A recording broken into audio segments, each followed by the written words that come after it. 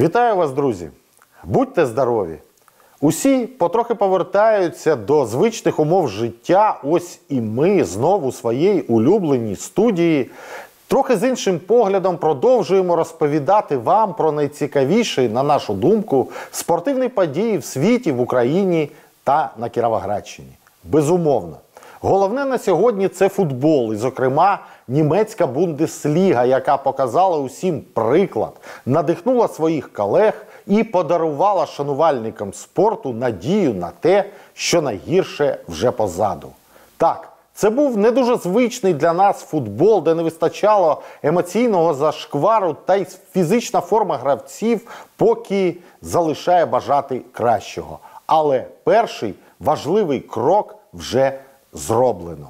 Позитивною є футбольна інформація з інших країн та й з України. А саме, заплановано поновлення футбольних чемпіонатів у Чехії 23 травня, Данії 28 травня, Польщі 29 травня, в Україні та Сербії 30 травня, Австрії 2 червня, Португалії 4 червня, Іспанії 12 червня, Італії 13 червня, Англії 19 червня, Росії 21 червня.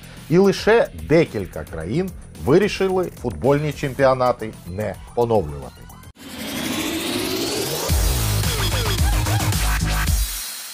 Що стосується української прем'єр-ліги, то є попередня домовленість між клубами, що у разі поновлення чемпіонату Київське Динамо, Донецький Шахтар, Ковалівський Колос та Чернігівська Десна напевно таки будуть грати у Києві. А ось футбольний клуб Олександрія та Луганська Заря прийматимуть суперників на власних стадіонах. Тут, на щастя і на радість, мова вже йдеться про деталі. А ось відносно інших дивізіонів, усе як і раніше, приховано за завісою туману. Ходять чутки, що змагання у другій лізі взагалі не поновляться. Та й у першій лізі не всі команди палають бажанням догравати турнір та нести чималі витрати. Натомість футбольний клуб Інгулець, який посідає поточне четверте місце в турнірній таблиці, за рівної кількості очок іще з чотирма головними конкурентами, виступає виключно за спортивний принцип, про що йдеться в офіційній заяві клубу. Якщо ж чемпіонат у першій лізі не дограють і зафіксують нинішні результати, інгулець не виключає варіант пошуку справедливості у вищих профільних інстанціях, включаючи спортивний суд у Лозанні.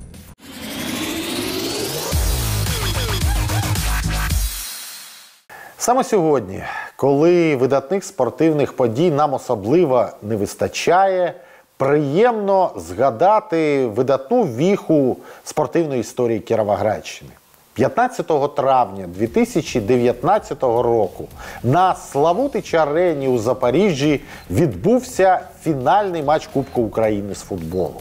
Тут уперше в нашій футбольній історії представник української першої ліги Петрівський інгулець виборював почесний трофей. І хоча сил для того, щоб в тому сезоні створити ще одну гучну сенсацію саме в матчі з Донецьким шахтарем, хлопцям Сергія Лавриненко не вистачили все одно. Такі миттєвості назавжди закарбовуються в пам'яті. А інгулець навічно вписав своє ім'я до футбольної історії України.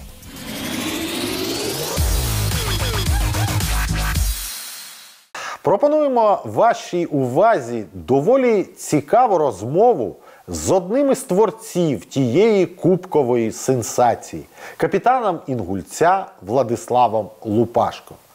У цій розмові ми торкнулися кількох важливих тем і сподіваємося, відкрили для вас нові грані таланту влада. А за футболом скучали и тренировались, и давали нам задания домашние, и тренировались э, в Zoom-конференции все вместе.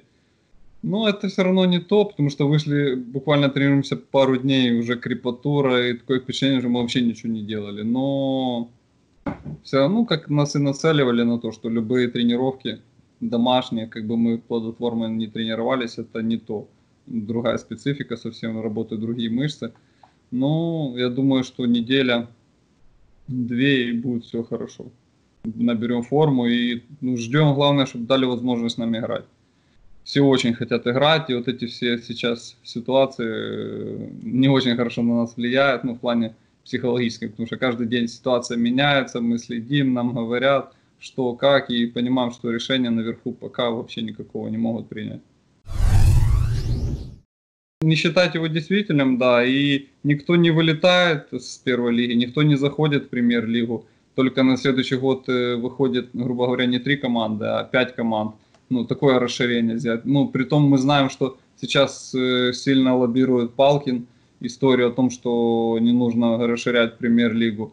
Я, ну, как, честно, ну, я до, до конца не понимаю, в чем причина, и кому я задаю вопрос, никто мне не может ответить, ну, в чем причина Палкина не, не расширять лигу, ну, понятно, помимо тех причин, которых мы там можем сами себе домыслить, а,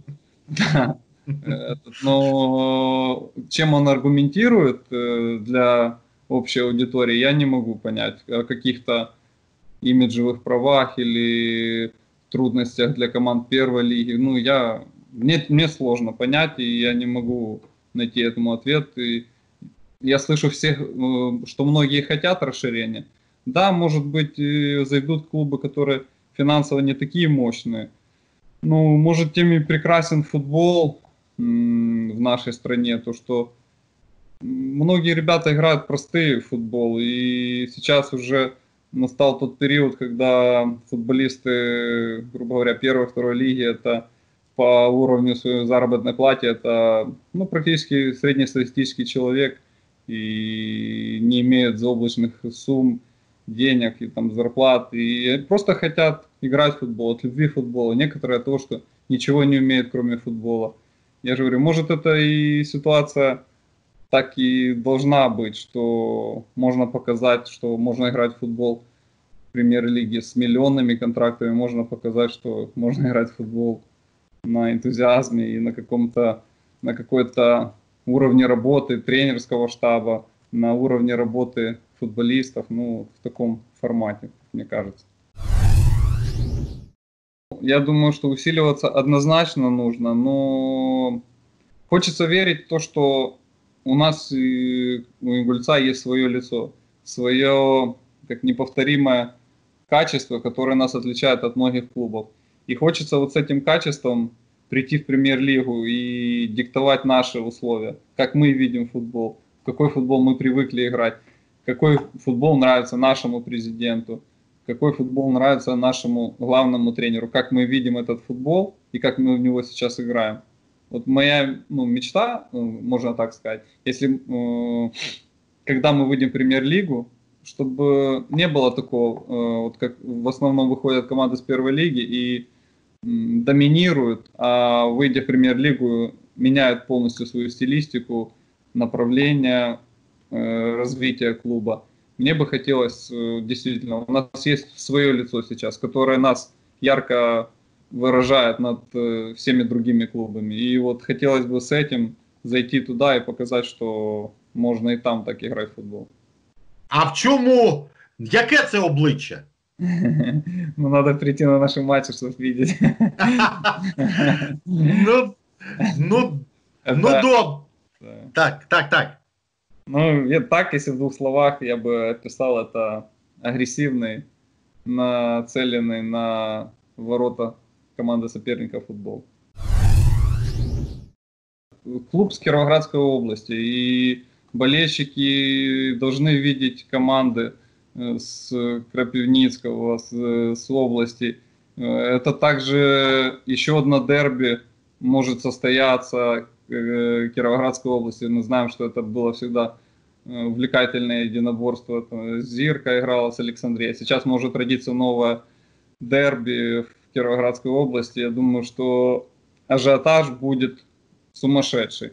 Я знаю, что в Кировограде люби, люди любят футбол очень, и я думаю, приходило бы очень много болельщиков на стадион. И, но это в Днепропетровске столько не будет ходить однозначно. Но это не наши вопросы, это... Ну я зрозумів, ну за моєю інформацією ситуація інша. Я тобі вже ну ми з тобою обмінювалися ці, ці, е, цими даними. Е, можливо, керівники не дійшли згоди, але конкретної розмови, е, як по моїй інформації не було про те, щоб ось ось така сума ми граємо у Кропивницькому. Тому ну, це вже це вже справа керівників клубів. Так, але я почув, я почув думку капітана Інгульця.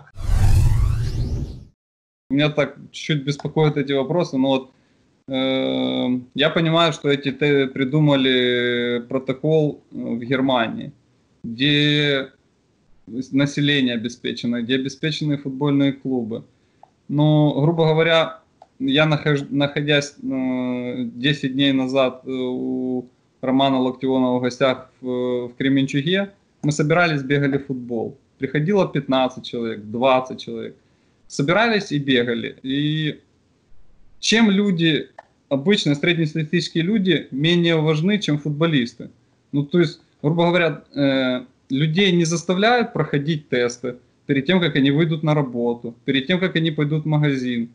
То есть, или не важна их э, роль как людей, то, что они заболеют, а важна роль футболистов, или это просто дань моде, грубо так сказать, можно, то, что э, в Германии проходят, в Англии проходят, и у нас должны, но надо понимать, что бюджет э, немецкого клуба отличается от бюджета первого, первой лиги клуба грубо сказать, Кременчук, который, э, команда, которая на бюджете в городе, у них не закладывалось бюджет э, проходить тесты перед каждым матчем. Это 70 тысяч для них неподъемная сумма. Нужно понимать, что эти решения могут убить футбол. Знаете, честно скажу, э, две недели назад я еще сам себе крутил в голове и думал, ну, ну наверное, надо заканчивать детский, ну, детскую лигу, не продолжать э, э, аматоров, а потом, когда я начал общаться э, в этих кругах, и тут мне звонит один парень, говорит, тут он тренер, детский э, тренер в Киеве, говорит, нам урезают зарплату, потому что не будет чемпионата. Говорит, я один в семье работаю. Говорит, у меня нет возможности для существования, у меня трое детей. Разговариваю с парнем, который играет за аматоров. Он говорит, неизвестно, как завтра будет. Президент откажется платить деньги. То есть и я поменял свое мнение и ну, хочу донести для людей то, что чтобы принимать решение, нужно быть компетентным и общаться от, от верхушки и до низа, по всей вертикали, потому что так решение, оно никогда не будет правильным. И вот эти решения, ну, даже протокол медицинский, я считаю, что это неправильно. И у нас нету даже возможности сыграть товарищеский матч, потому что товарищеский матч нужно так же само оплатить. Ну, я вам скажу, что это порядка 70 тысяч гривен на одну команду нужно потратить, чтобы сыграть один матч. Это только э, протокол э, медицинский, чтобы его оформить, ну, это 70 тысяч гривен, но товарищеские матчи не будет, я вам так скажу, и подготовки к чемпионату не будет. А не будет подготовки, будут травмы. А будут травмы, закончить чемпионат, ну, закончит. Кто, кому как больше повезет. Но если думают о нашем здоровье, ну, тут получается вещи, которые сами себя, сами себе противоречат. Вроде как заботятся о нашем здоровье, чтобы мы прошли тесты, а тут э, не думают о том, что не будет у нас качественной подготовки, мы все, ну, как большинство из нас, футболистов, могут получить травмы. Ну, просто ни к чему этот тест не приведет, если условно я его сегодня сдам, а результат будет э, через несколько дней, я за эти несколько дней потрачу э, либо время в дороге, добираясь на матч, либо буду с семьей в магазины. То есть за это время, за эти три дня, которые после теста, я могу подхватить этот вирус где угодно. Ну, он не информативный, и это лишний раз э, просто нагрузка на клубы. Я так считаю.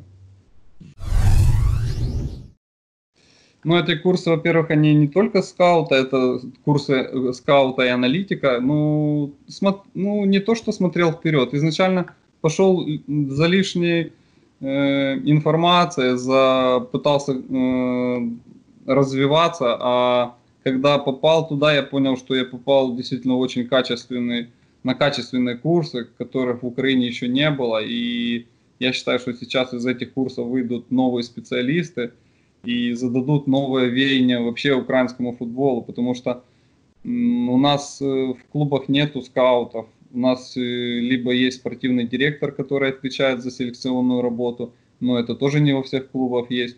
Есть тренер, который и так занят своей рутинной работой ежедневно.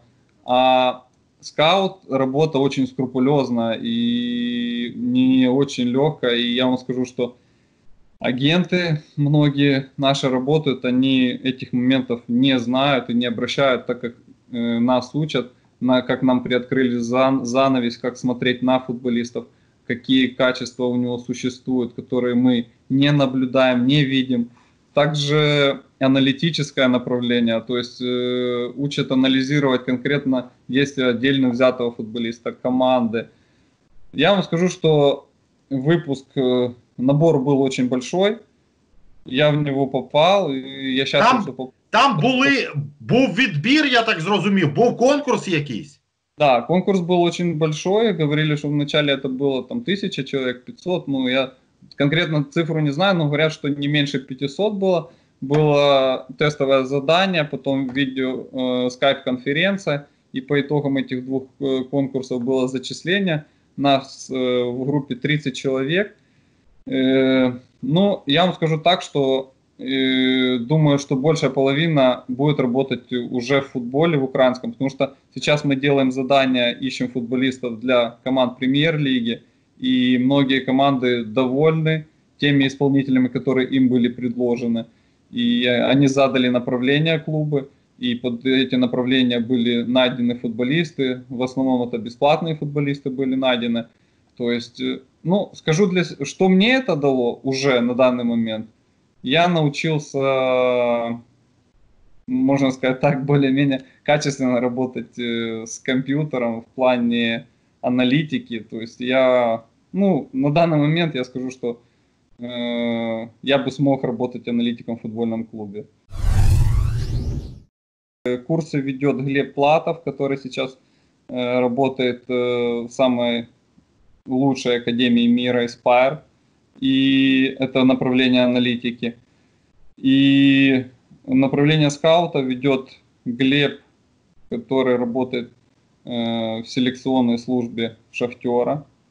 И, ну, два очень, очень качественных специалиста. Я скажу, что они задали новое веяние украинскому, в украинском футболе в плане обучения.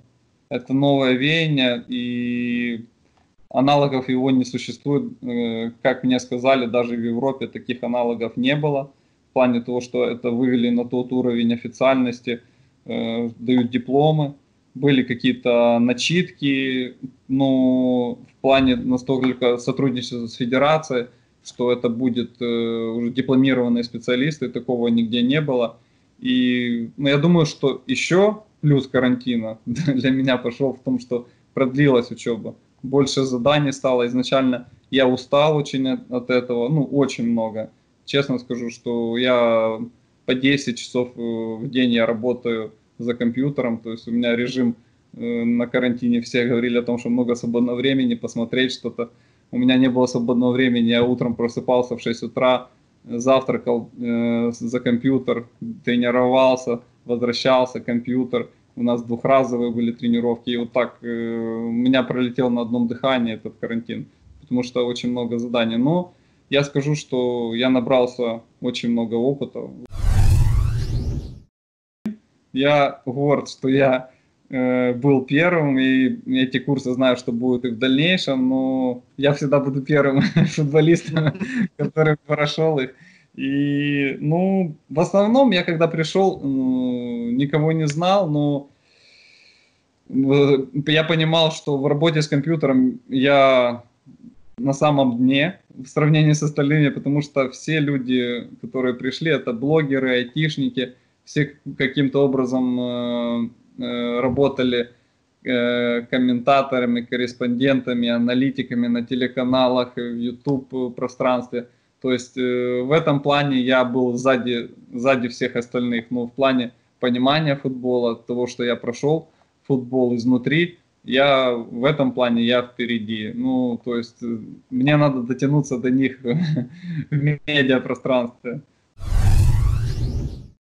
Карантин, болельщики хотели чего-то, видео каких-то. Меня попросил наш коммерческий директор Андрей Филь, э, ну, что-то, может что-то презентовать для нас, для клуба. И так пошло, ну, как мне сказали, было интересно. Я записал несколько роликов по аналитике, по скаутингу, показал, как можно найти бесплатного футболиста для украинской премьер-лиги. И, кстати, этого футболиста предлагают, э, ну, не знаю, просто я выложил этот ролик, нашел, э, случайно подобрал его, выложил его в сеть, и буквально через две недели мне парень звонит, что этого футболиста предлагают в украинскую премьер-лигу.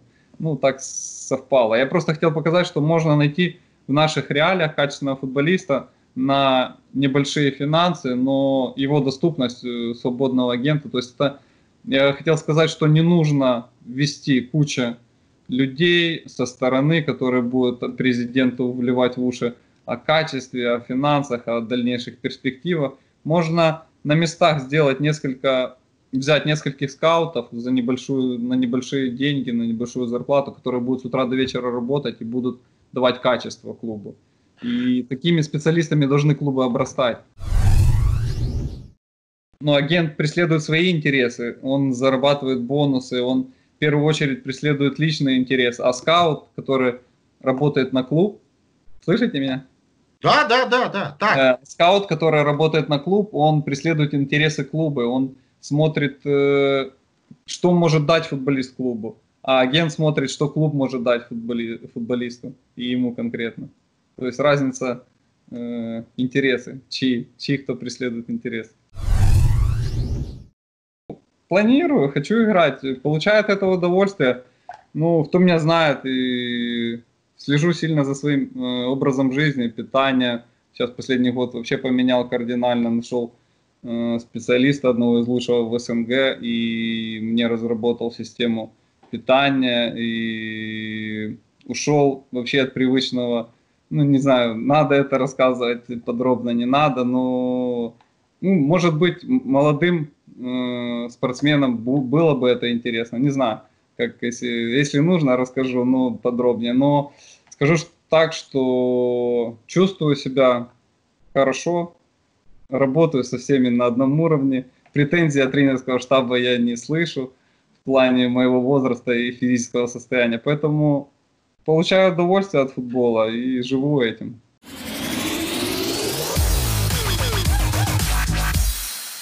Тепер давайте повернемося до наболілих питань спортивної Кіровоградщини.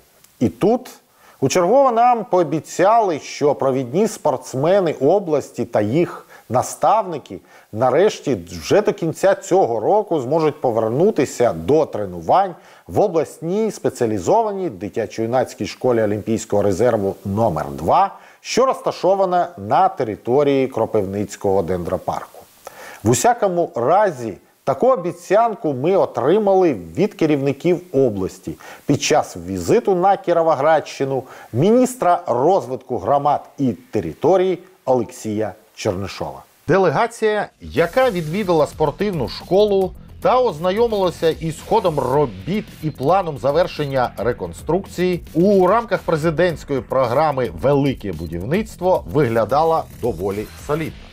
Адже, окрім самого міністра розвитку громад і територій Олексія Чернишова та інших столичних гостей, які його супроводжували, до спортивного об'єкту завітали голова Кіровоградської обласної державної адміністрації Андрій Балань, голова облради Олександр Чорноіваненко та міський голова Кропивницького Андрій Райкович. Після розмови з директором з Дюшор 2 Віталієм Винокуровим та оцінки ситуації, яка склалася, представники влади під час спілкування з журналістами зазначили, що роботи будуть завершені в цьому році. Кошти на завершення будівництва вже виділені, а спортивні об'єкти у державі пріоритет. Олексій Чернишов не виключив можливості будівництва у Кропивницькому сучасного спортивного комплексу з достатньою кількістю глядацьких місць. За словами голови обласної державної адміністрації Андрія Баланя, на наступний рік запланована капітальна реконструкція з Дюшор Надія. А питання приведення до ладу легкоатлетичного ядра на стадіоні Зірка залежить від власника арени, але обласна влада готова цьому сприяти. Ну і порадувала інформація від голови обласної ради Олександра Чорноіваненка про те, що скорочення бюджетного фінансування спортивної галузі Кіровоградщини через коронавірус не передбачається. Якою ж буде школа, де після реконструкції знову продуктивно працюватимуть відділення бейсболу, софтболу, легкої атлетики, боксу та футболу, ми дізнались у незмінного із 1999 року директора з Дюшор 2 Віталія Винокурова. І я майже впевнений, що зимою вже наші тренери будуть е, тренуватися е, в спортивному залі в своєму. Тобто е, ви вірите в те, що фінансування буде завершено, і е, ось цей діалог, цей діалог був позитивним тільки що. Фінансування від мене не залежить. Є е, замовник, це управління капітального будівництва.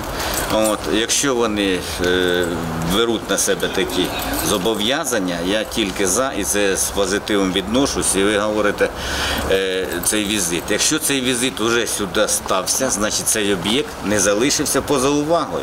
О, значить, він е, буде доведений до кінця. І я думаю, що в цьому зацікавлені дуже багато е, і спортсменів, і тренерів, і влади. А багато робіт ще потрібно зробити. Е, Ну, робіт, в принципі, основні роботи зроблені. О, То, що ми е, розміри збільшили, от 100 метрівку, збільшили стрибковий сектор, у нас е, збільшився майже на півтори тисячі квадратів, збільшився зал.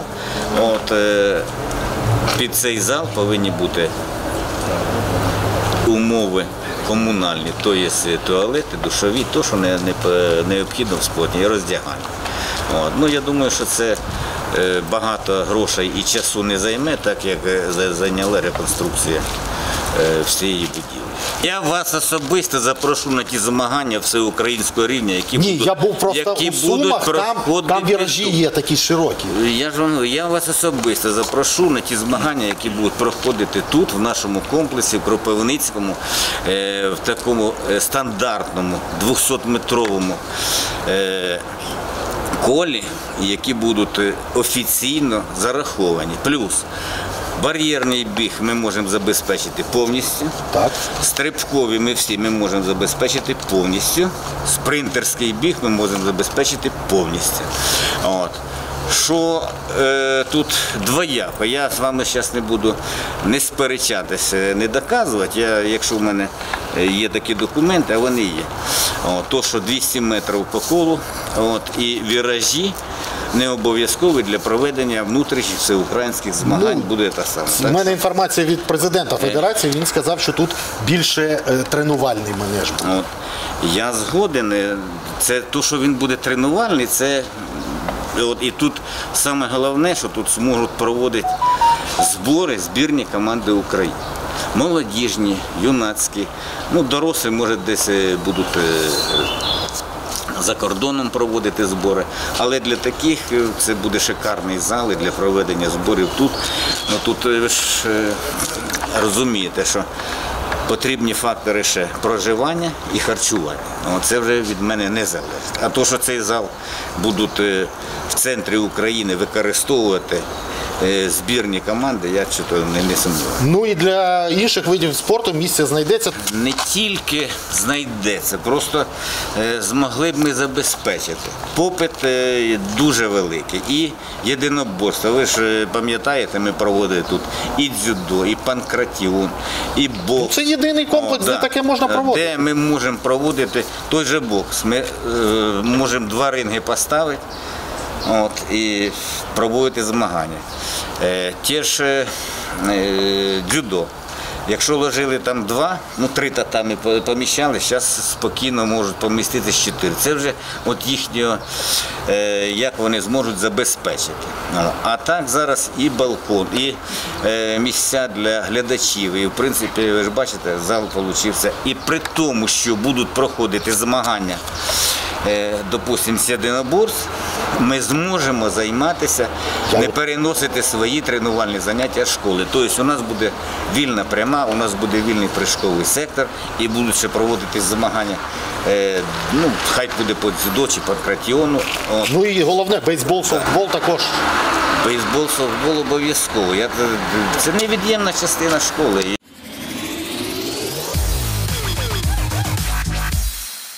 Дуже хочеться, аби спортивна школа якомога скоріше запрацювала. І будемо чекати виконання всіх обіцянок. Та все ж незрозуміло, чому цей об'єкт внесений новою владою до президентської програми Велике будівництво. Адже ми сподівалися на новий спортивний комплекс із достатньою кількістю місць для глядачів, де можна було приймати змагання найвищого рівня. А називати великим будівництвом реконструкцію спортивного об'єкту, яка розпочалася ще у 2017 році, на нашу думку, ну не зовсім правильно.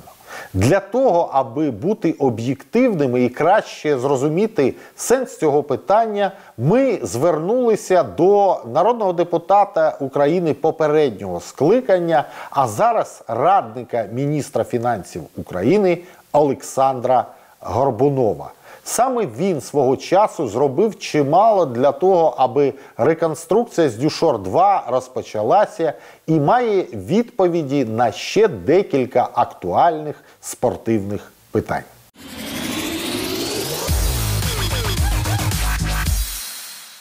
Е, Ну, взагалі, проблема з Дюшор 2, взагалі проблема спортивних об'єктів це проблема країни в цілому.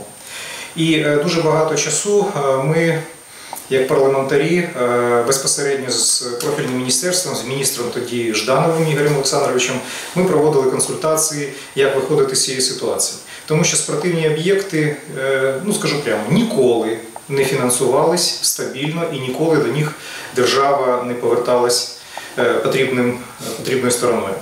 Е, Було прийнято рішення, і е, безпосередньо я своїми колегами вніс е, поправку в бюджетний кодекс тоді в 2016 році, яка дала можливість систематично виділяти 10% е, Державного фонду регіонального розвитку на реконструкцію, будівництво і розвиток об'єктів спортивної інфраструктури в Україні в цілому. По суті, реконструкція з Дюшор 2 це той знаєте, приклад, який це перший проект, до речі, в Україні, який почав фінансувати за цією схемою.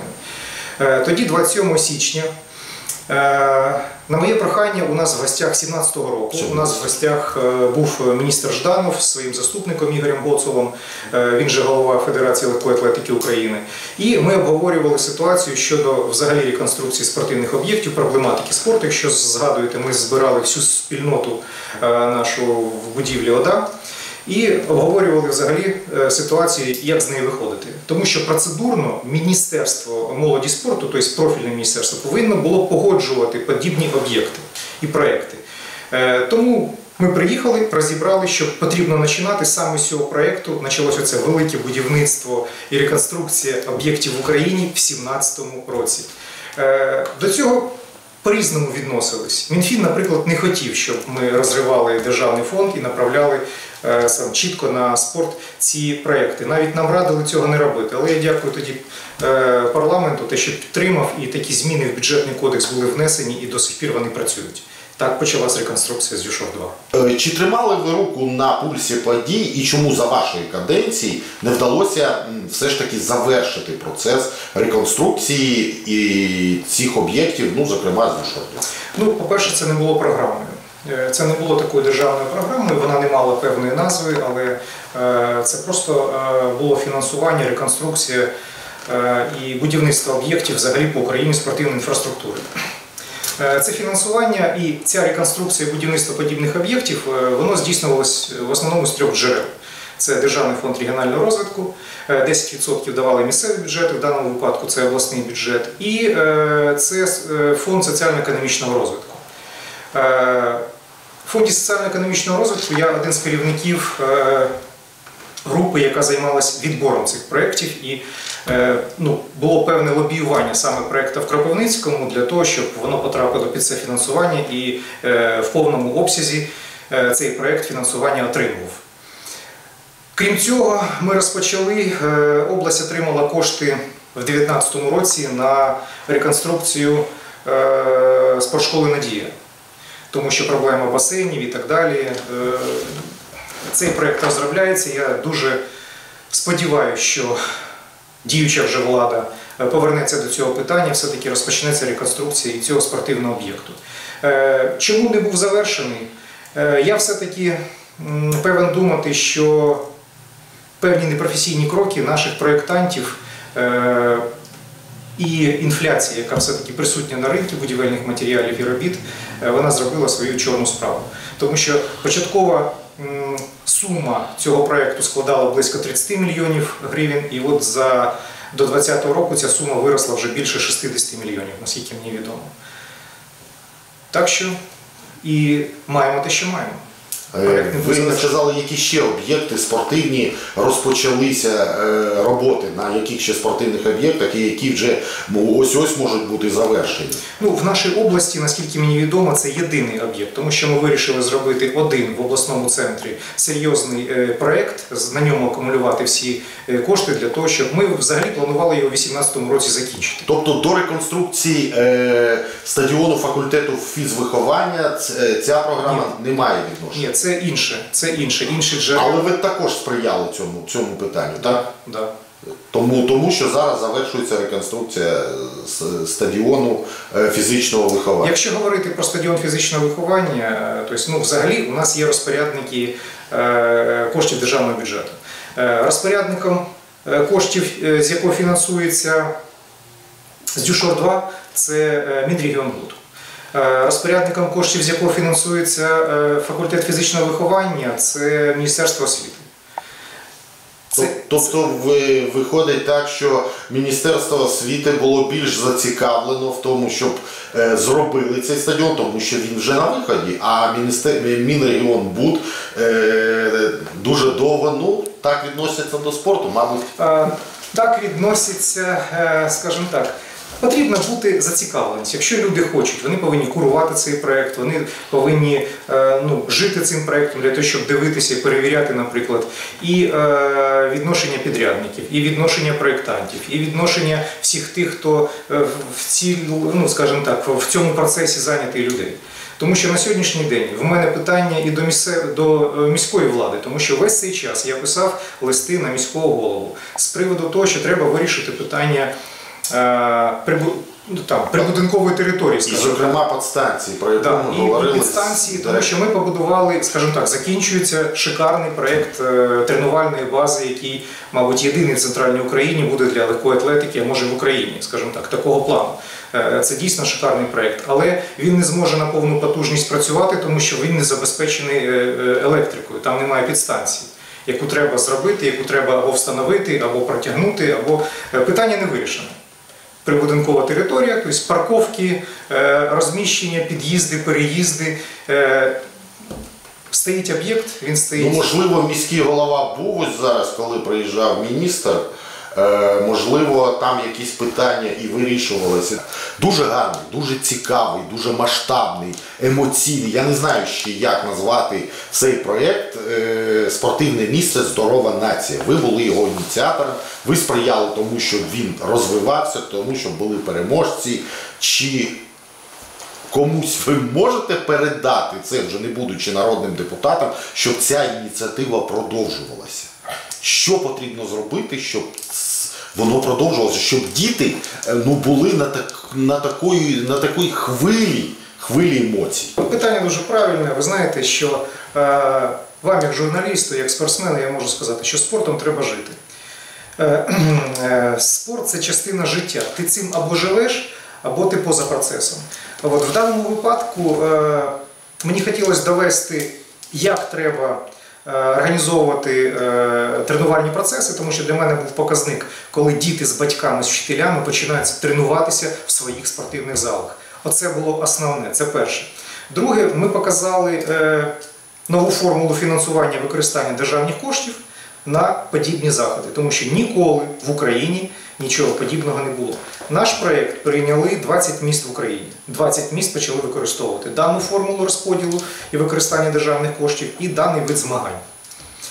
І це було вже здорово. Якщо ви пам'ятаєте, вже на фінал, е, не пам'ятаю, це було весна чи осінь 18-го року, чи весна 19-го, е, приїздили і міністр молоді спорту, і колишній прем'єр-міністр, ціла плеяда міністрів, які просто приїхали по-дружньому подивитись. Ніхто не думав, вони в своїх кабінетах е, серйозними там обличчями е, звикли вирішити державні питання, і вони побачили інші, іншу сторону медалі. Тому що це дійсно пік емоцій, які просто не можна передати. За цим сумують всі зараз. Ну я безпосередньо це, це точно.